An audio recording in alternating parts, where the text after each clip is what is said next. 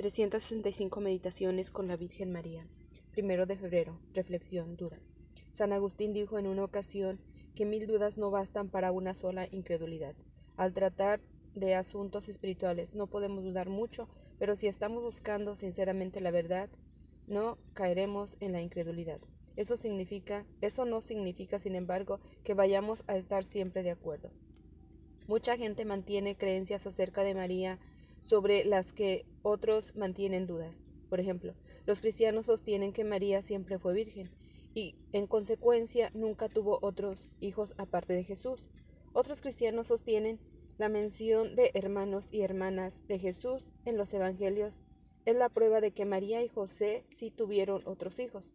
Los católicos arguyen, a su vez, que los términos hermanas y hermanas pueden referirse a cualquier pariente cercano y mantienen la tesis de que hermanos y hermanas de Jesús eran realmente primos o incluso hermanastros, suponiendo que José pudo haberse casado con anterioridad.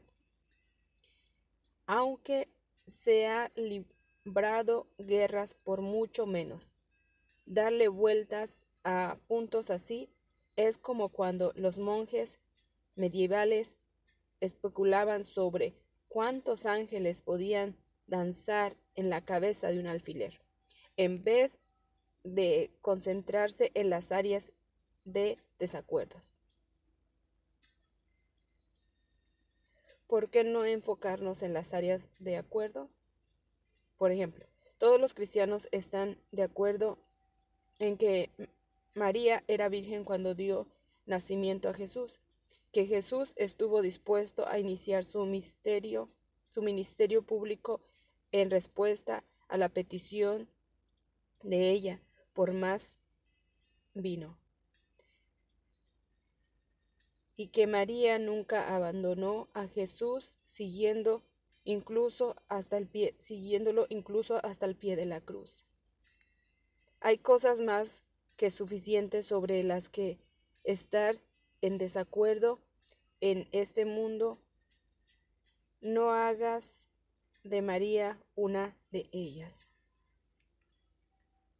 ¿Cómo me comporto cuando sé que tengo razón? Trato de discutir con los demás para arrastrarlos a mi punto de vista.